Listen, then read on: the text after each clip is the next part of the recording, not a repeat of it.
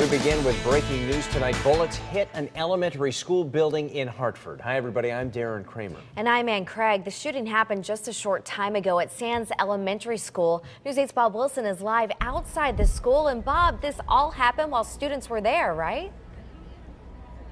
Yeah, right about 2 o'clock this afternoon, shots rang out. This is the window to the gymnasium, and this wall goes all along the gymnasium. There's one bullet hole there at about head level. There are two more up higher. And take a look at the video. You can see uh, shots rang out about 2 o'clock. The school went immediately into a code red. A lot of the windows were open. Students heard the gunshots. There was a lot of people that were very concerned, especially teachers. They called that code red, and uh, that's when they locked down the school. It was in lockdown for about an hour. We want to make sure to point out there's a playground right next to here. And that playground, there were no children outside the school at the time, according to the school uh, spokesperson.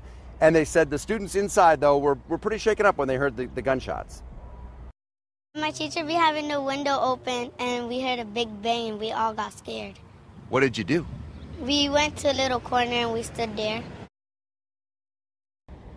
We talked to several students who said that they were inside the library at the time and they had to go and shelter underneath desks and in the corner there as well. I want to point out again, nobody was hurt. Shell casings were retrieved here from the scene. And we do have uh, Chief Foley from the Hartford Police Department has just pulled up. We're going to get a briefing here and bring you more up at 6 o'clock on exactly what happened. We heard the altercation could have been over a mini bike, two men out here fighting, and that's when the shots rang out. We'll get some confirmation for that coming up at 6 o'clock.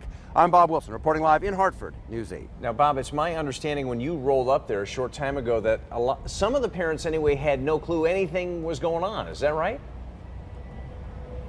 That is true, and we spoke to a lot of them. I did check with uh, Mr. Medina over at the Hartford uh, spokesperson for Hartford, and he says that it happened so they were still in it up until about 3 o'clock, and then the kids were released, so they didn't have much time to get out notification to the parents. However, they did put out a, he called it a robocall, where he went out immediately to the parents on their cell phones, their home numbers, letting them know what happened. There will be an email or a written word going out a little bit later on. But right now, they're still trying to just alert parents. We talked to a parent who was inside the school when it happened with her granddaughter, and we'll have that story for you at 6 as well.